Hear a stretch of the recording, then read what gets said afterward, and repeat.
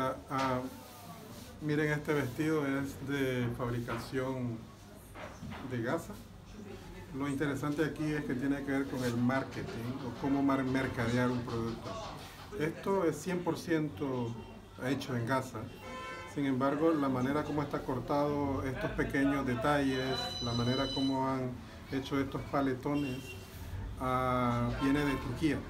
Alguien que estuvo en Turquía les explicó cómo hacerlo y ahora ellos están produciendo este tipo de vestido para ocasiones, cócteles, matrimonios ah, y lo están vendiendo en tiendas en, en Rimal y las tiendas están poniendo hecho en Turquía y la gente está pagando más dinero solo por el hecho de que piensan que está hecho en Turquía y en realidad está hecho en Gaza.